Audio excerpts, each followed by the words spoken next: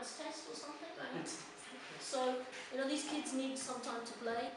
Um, now they are uh, actually having English lessons, but we don't use books, actually we use songbooks, we use puppets, uh, a lot of songs, a lot of drawings and stuff, because that helps to get a lot of that stuff out that they need to express. Um, but anyway, the thing I learned from all of this is that it, it has a lot of application to what you're doing, because you can do this with business people as well. They're quite relieved to draw on their hand and write about their business. You know, where my business is now and where I'd like it to be in five years. Uh, it's a great activity, so you, you just need a pen or a pencil and a piece of paper.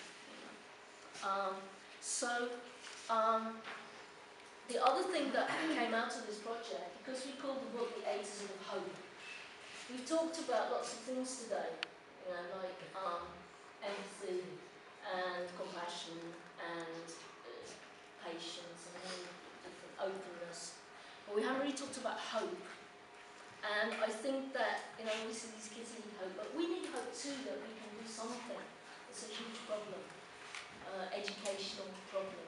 And so I think that teachers, a lot of teachers wrote to me and said, you know, being involved in this project gives me hope too that I can do something because I'd like to do something, but what can I do? I can't quit my job tomorrow and go to Iraq and work in a camp, you know. Um, but this is something we can do. So um, now, at the moment, everybody's volunteering to write materials. We will continue with the crowdsourced books. Um, but I think that uh, hope is really important And what I wanted you to do, because I'm going to do a kind of exhibition in, in writing about hope, and I wanted you to take the paper plate that you've got there and draw around your hand and write in the middle something about hope. You know, all the things that we've been talking to today give me a lot of hope actually about how we as teachers are tackling those issues. Know, what is it that gives you hope in what, what we've spoken to today, and what is it that inspires you to include global issues in your?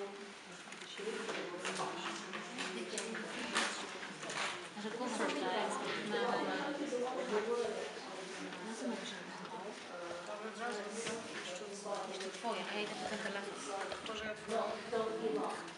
Just keep going. So if you have a plate, use a plate. If you haven't got one, in the, um, at the end maybe you can write because you can continue ahead if you get an idea. And also the legacy thing with you at the end. So um, the other thing related to um, the issue of hope is that I, uh, we, we cannot do lessons all the time in that camp because it's hard to get into the camp. There's a kind of political issue. The Minister of Education asked for money to be in the camp and it's a bit like a backhander, you know, and once you start to do that, it's not a great idea. So we have these kind of sessions now and again. And one thing we do is we send the kids um, books or games and we have kind of parties with the kids. Um, and we send them postcards.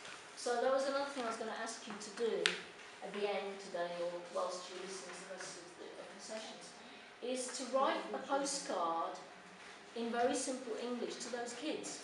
They love to get messages from outside.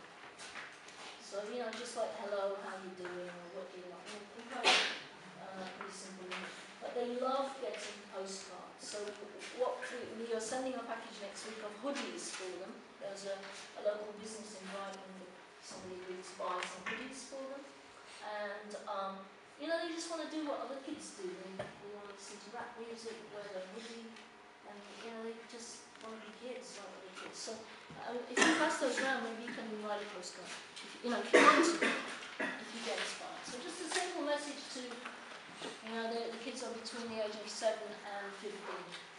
And they love getting posts, they open it and they all share it and they get a lot of excitement because they can connect, you know. Um, right, so just to go back for a moment to um, what else we've got in our pack here. Um, there are some things, obviously, like um, something that you can try story cubes. Have you heard of story cubes? Yes. Um, the kids actually make their own story So we, we give the teachers a pack of these, and then they make them out of cardboard.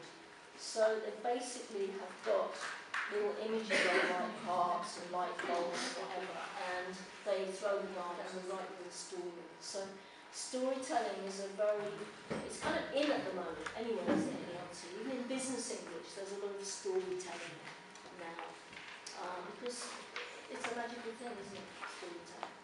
Um, so we use these story cubes, we give the teachers those in their kits.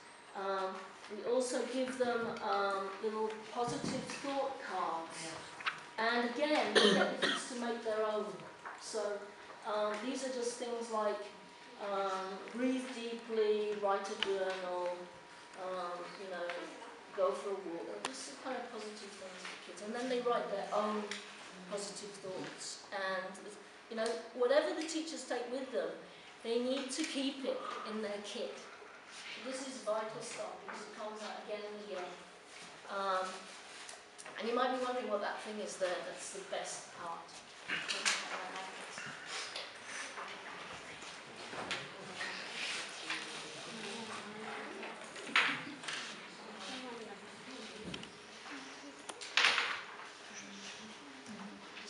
Oh, I've got them. Okay. Right. Um, you haven't. Uh, if you're teaching in a refugee camp or even worse in a tent school, you're literally in a tent. And you might have a table, of tables, but you're in a. And so we teach the, uh, the, the teachers before they go to make a magical space. And this is what teachers are best at. You make a magical space every day, basically. Um, so just to show you what, how this works, um, it's basically a magnet. Um, it's like a wire and you can use it as your makeshift, um, if you haven't got your pegs, you can use it like that. Obviously you've been a smaller group, so you can see it now. So teachers create magical learning spaces, this was something I did as a teacher training uh, course. Um, and we do a lot of activities that make the kids feel good. Feel good factor is really important for these kids. So we do a thing called high fives. Um, they say that in any class, if you have a five to, or in, any work situation, you should have a five to one ratio of appreciation. So you should praise a lot. Praise is really good. Yeah? So this high five thing is just uh, something like.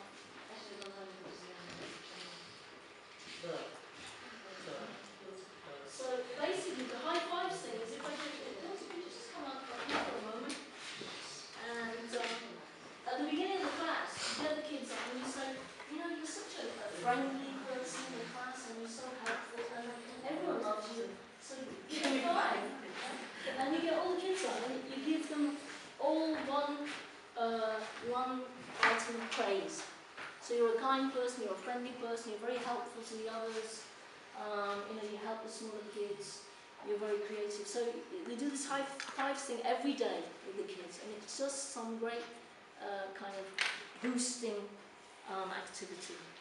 Um, so um, yeah, moving on from the, the hands, um, we do a lot of everything you've got because everything is a resource.